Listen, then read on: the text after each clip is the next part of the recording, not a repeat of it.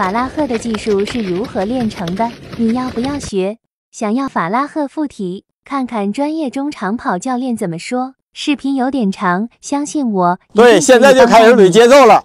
哎，给后边的那个、那个、那个技术跑啊，转向技术跑捋节奏了，把你的呃跑步的肌肉关节完全活动开了以后，我们再进行我们的短距离的呃改进技术跑。要注意后蹬、抬腿、趴地，重心再靠前，漂亮。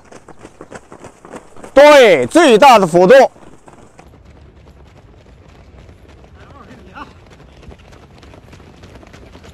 改进技术跑一定要注意后蹬、抬腿，整个全整整个一个全过程啊，体会的在速度同样情况下、节奏同样情况下，注意你的技术改进。后蹬了，哎，注意向前了，注意惯性了。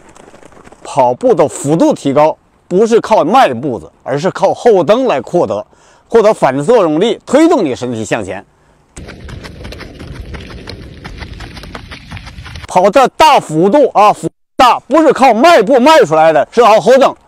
腾空后为什么要趴地后后后蹬？腾空才能得到了，不能够迈步，那是弓箭步走，是吧？迈步做大幅送胯，这都不对，是靠后蹬得到的，是吧？看法拉赫那跑，是吧？完全是后踏踏踏踏这样走，而不是蹭蹭土地往上跑。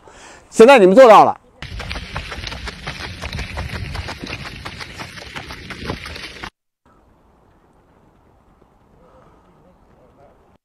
对，要感觉同样情况下要感觉轻松了，向前了，小步跑高抬腿，踏踏踏踏踏，过动到跑一样，站起来，大伙体会一下后蹬，再体会一下趴地。